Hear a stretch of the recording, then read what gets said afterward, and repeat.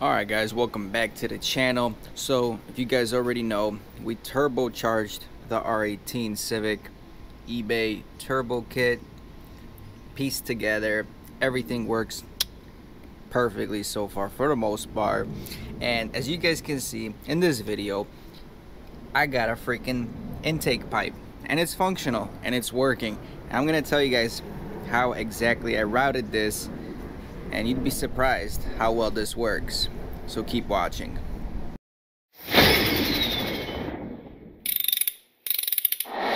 Alright guys, so you install the turbo kit, this is what you're looking at. Just the open turbo inlet. There's no piping whatsoever. It's kind of tight in here honestly to put a intake on but it is doable with a two inch pipe which that's what our intercooler piping is now ideally ideally guys if you want the best performance you want to take a pipe route it around here route it under the battery tray right where your factory intake is or a colder intake box would be and that would be inside the bumper here between the bumper and the fender liner. That's your best spot best location to get cool intake air temperatures. The cooler the air temperatures are you get more power you get less pre-ignition less knocking and that's just better for the engine. Now your second option is if you find a small enough filter here you can probably just rock a small filter directly onto the turbo. Just probably have to move this bracket off. The other problem is though this this radiator hose here is right in the way and you're still getting a lot of heat. You got the upper radiator hose the lower radiator hose. So anything in this vicinity is getting heat. So plan b would be just take a pipe and kind of route it here. You have enough space here since we took off the factory intake just to put a filter in here. Just looking at all the piping that i had left over from the intercooler pipes and we came across one pipe here that we had. We kind of cut some of this pipe already when we were mocking it up for the intercooler anyway guys this is lily. Lily is scared. It's it's the fourth of july weekend right now and she's just frightened of the fireworks and the bangs. Poor girl. But yeah man we used intercooler piping. We had some of these couplers. Remember these are two inch to two inch with a 90 so we're using those couplers here now since we didn't use them for the turbo kit install. We have one full one and one that we cut in half as you can see it's just cut in half. And we bought a just a generic intake filter. Just some garbage uh, cheap intake. Tried to, I tried to get the smallest piping I could right here. The size some are longer some are shorter but this is the one I could find that's affordable and pretty small. And we made a intake that works using just these leftover pieces from the intercooler piping. So check it out. This is what we did. First we're gonna take our half cut coupler right here. Now this is a two inch right? And our turbo inlet is like a 2.3 inch or 2.25 inch. So what we can actually do we can stretch this coupler onto the intake portion of the turbo here. A little bit of elbow grease. Maybe if you want just spray some WD-40 on it. It will help but look it goes on it slips on and it's I'm telling you it's really dang tight. Where to the point you don't have to worry about putting a coupler on here. I've been running like I've been running the car like this without a coupler on the turbo and just the clamping force itself holds it pretty good. But we're gonna clock it a certain way which is going to be beneficial for us and the next pipe that goes in all right this is how you're gonna want to orientate your pipe right here. We're gonna have this pipe going into the turbo here and then we got a 90 see i can't fabricate yet. I got a welder TIG but uh, i have no idea what i'm doing when it comes to pie cuts and all that stuff. So we're using what we got. We got that coupler here so that's gonna be my 90 and check it out. I'm gonna feed everything through here right there under my intake charge pipes. Right there you see? You see how close that is right there? We're gonna feather that in a little bit. Give it a little angle. Bam. Right on the money there. It's not touching the radiator right here. It's right up against the fan actually. There's a good maybe 10 15 mil of clearance. It's gonna go right under the pipe here. And originally without this coupler I had the filter sitting here pointing that way show you guys. The filter was sitting somewhat like that but it is tight. And the engine mounts you see how they're pointing up right here? That was actually hitting the filter. So we we took that 90 right? And look this is not even using any couplers here because everything sits pretty dang tight on on each other the coupler with the pipe. So just like that. So this coupler actually squeezes inside here because this is a two and a half opening. And again this is a, a two inch inner diameter maybe two and a quarter outer but it fits perfectly in here. So check it out. What we do pop it in.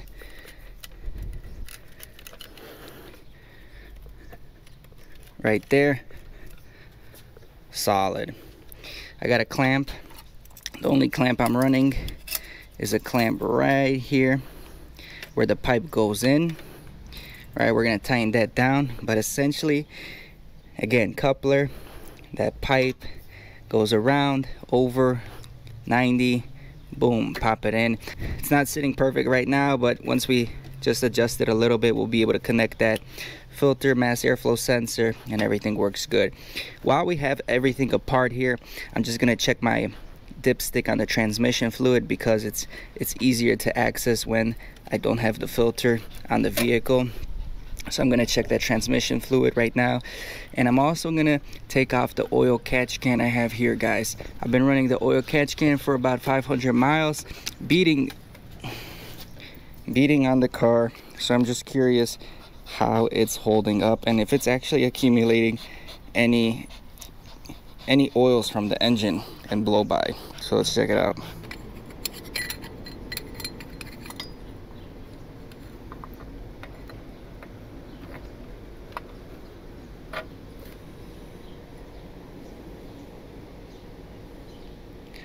I mean, we got something in here. What What is that? That's what I want to know. Where did that come from? It's like rubberized. Maybe that's something from the catch can, I'm not sure.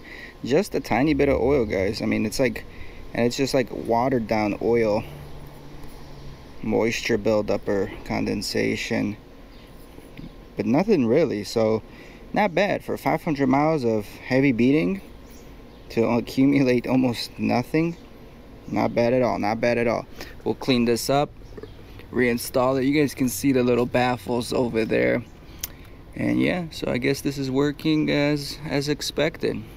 All right well that's pretty much a wrap for this video guys. I'm really really happy with the intake the way it's working with again with the parts that I already had. And you know this is a budget oriented channel. We built this in our driveway using eBay parts and legit it works. I've been beating on it for some time now still working on the tune a little bit uh, still adjusting the the preload on the wastegate a little bit. So remember first we had a lot of preload then we went to zero preload. Right now I'm running half a turn of preload which is it pretty much falls straight on the wastegate maybe with just a little bit of tension and just adjusting that tune accordingly. Now again the engine bay right here I mean I'm as pleased as I can be again ideally I would love to have this intake wrapping around the bumper and getting colder air but it's pretty good where it is. I might do the gold reflective tape on the intake here just to maybe see if we can keep intake air temperatures down. There's a guy on YouTube more Honda or more racing or the Texas Honda channel he just recently did an experiment where he put gold reflective tape on his intake in Texas I believe and he's running 30 degrees colder IATs from that modification on his uh, naturally aspirated TL at that time. I think he has a supercharger on it. Now the next thing that I'm planning on doing once I dial in the tune is I'm planning to do something with this exhaust because this is a factory this is a factory LX muffler that we once modified and I'm gonna overlay some videos right now what we did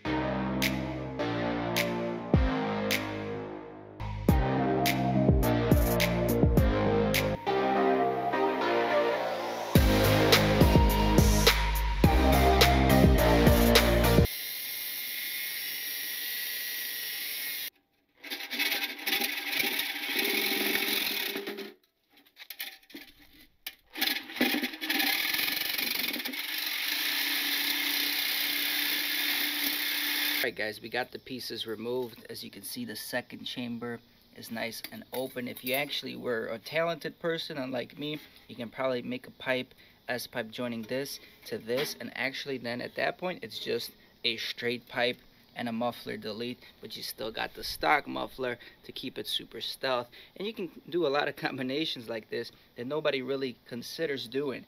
So I'm pretty happy with this setup right here. Essentially the air is coming out from here majority of the air is going to be trapped in this chamber and it's just going to come right out. So we're really skipping chamber 3 going back to chamber 1 and all that. So I think at this point I'm going to start patching this up. Let's get welding and we'll go from there.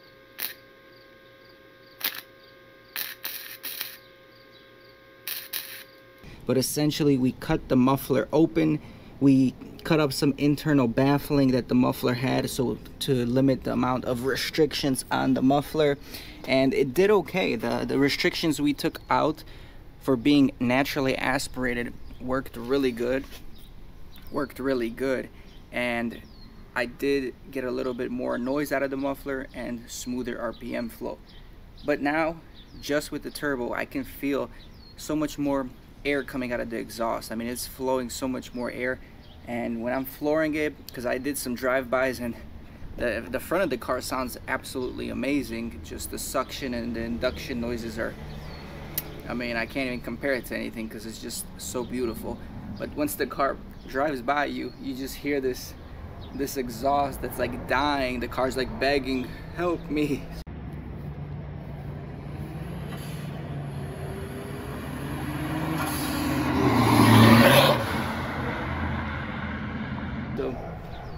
I might do a couple things with the muffler. I have some ghetto do-it-yourself ideas in stored.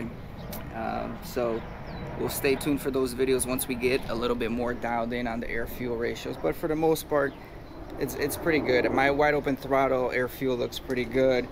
Just gotta mess with some transitional wide open or transitional uh, from vacuum to boost fuel tables and then I think we'll be good but it's been holding up good.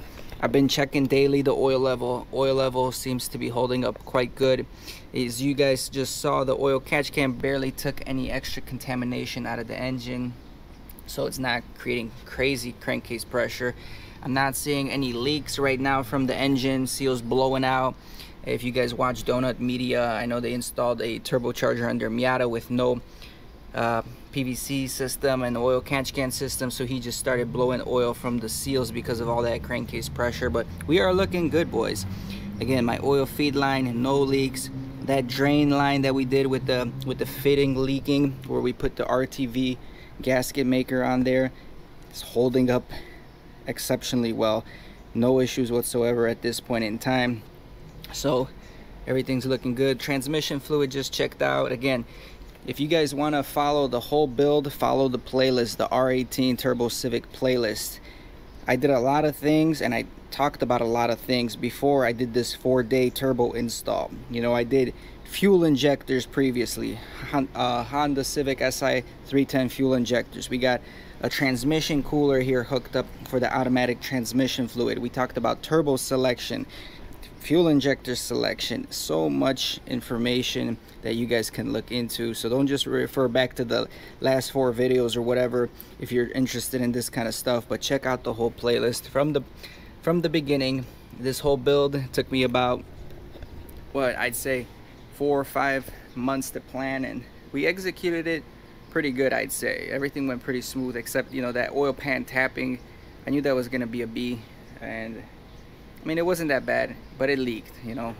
In the future, I probably definitely take an extra day where I can drop the oil pan, uh, weld on a bung, just so I don't have to deal with any other issues. Oil pans are pretty cheap for these cars, running about 50 to 60 bucks on Amazon, so that's a no-brainer. But uh, if you guys enjoy these videos, make sure you subscribe to the channel so we can make more of these videos make sure you leave a like so the algorithm can hit and we can start getting that ball rolling so we can do cooler projects man. But yeah that's about it for this video. I'll catch everyone on the next one. Thanks for watching. Peace. I ain't here for the money i ain't here for the fame. Though it might be nice to own a jet plane i'ma do it all for you. Come along and see us